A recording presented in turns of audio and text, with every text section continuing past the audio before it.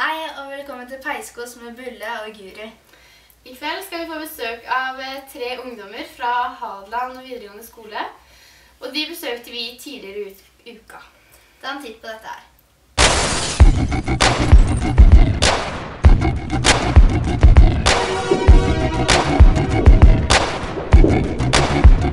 Uh,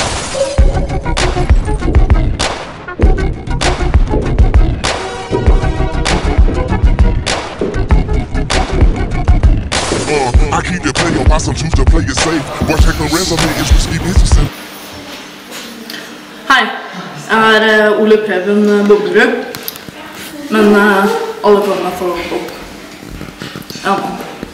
Jeg går på service og samferdsel. Eh,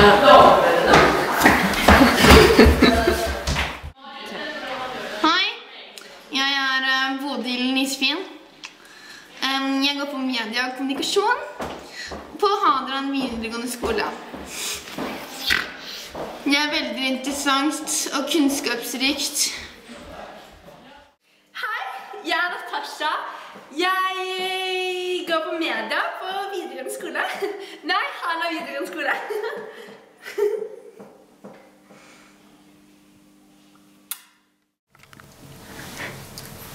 ja. Jeg går på service og samferdsel. Hei! Hallo, du. Uh, hei, hei. Fordi jeg har lyst til å bli resepsjonist. På Black Diamond. Hotell, altså. Og Bodil, hva gjør du? Eh, jeg driver med grafisk design. Det passer veldig bra til meg, da, for jeg føler at når folk ser meg, så har de bare lyst til å komme løpende. Altså, jeg er sånn innbydende. Passer bra. Som jeg sa i stad. Jeg skal bli modell. Derfor går hun på media. Og her er de. Ta vel imot Natasha, Bodil og Bob. Ja,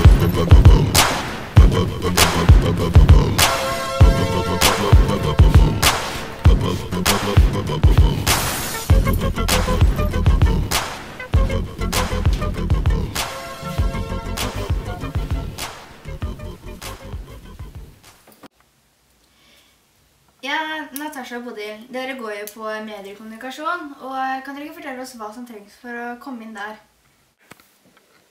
Altså, man må jo ha fin kropp for å bli modell. Jeg er ferdig, Natasha. Du må ha godt fargesyn, og du må ha evner til, evner til kritisk tenking og eh, fleksibilitet og analysering.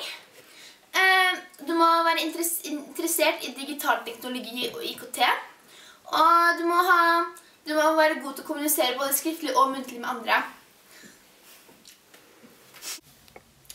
Ja, og Hva med deg, Bob? Hva kreves for å komme inn på service og samferdsel? For å Hva det kreves når du skal på service og samferdsel, det er jo at du må være høflig og utadvendt. Og selvfølgelig serviceinnstilt. Du må jo like å ha med andre personer å gjøre, da. Altså tradisjoner og slike ting. Det har jeg peiling på, ikke sant. Så ja. Gode karakterer.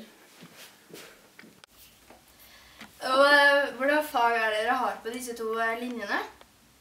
Um, I tillegg til fellesfagene, som er obligatoriske, som altså er naturfag, matte, norsk, engelsk og samfunnsfag, um, så kan man fordype seg i uh, medier, kommunikasjon og IKT, og mediedesign, fotograffaget og mediegrafikerfaget. Og modellfaget. Hallo! Kan ikke glemme det. Altså I tillegg til fellesfagene så kan du jo alltid velge fag som IKT, administrasjon, kontor, reiseliv og masse annet. Altså, får dere noe spesiell kompetanse ved å gå disse linjene? Og eh, er det noe likt mellom disse to linjene? Eh, altså, for begge deler, da, både media og service, så kan man få generell studiekompetanse ved å gå tredje året. Og eh, Bob, hva er det som er fordelen fordelene og ulempene med å gå på service og samferdsel? Altså, ulempene Det er jo at det, det kreves ganske gode karakterer. Um, og hvis det er mange søkere, kan det bli veldig vanskelig å komme inn. Fordelen er at du kan få veldig mange muligheter. Ja, man. Natasha Bodil, hva er fordeler og ulemper ved å gå medier og kommunikasjon? Altså, ulemper er at det er veldig vanskelig å komme inn når det er mange søkere. Fordeler med media er at man kan gå et yrkesfaglig studieprogram og samtidig få generell studiekompetanse. Har du øvd, du? Jeg har notater! Eh, og hvilke yrker kan man eh, få ved å gå på disse to linjene? Altså Når man går på service og samferdsel, så er det veldig, man kan, my, veldig mye man kan bli. Som i mitt tilfelle resepsjonist. Black Diamond. Eh, sikkerhetsvakt, selger og flyvertinne. Å! Kanskje jeg skal bli flyvertinne? De er jo så pene!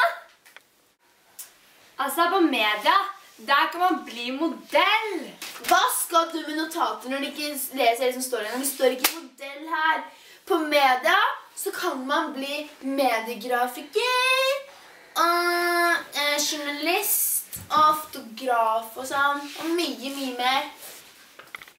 Da sier vi tusen takk for at eh, dere ville komme hit i kveld.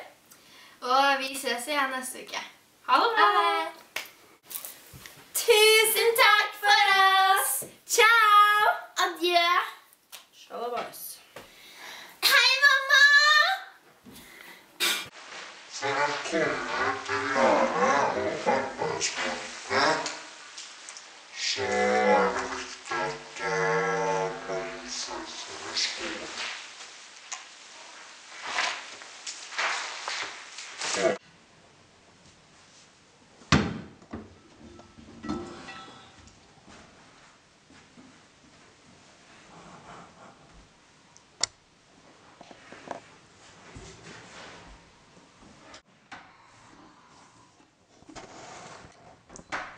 Ødela du beinet? Jo, jeg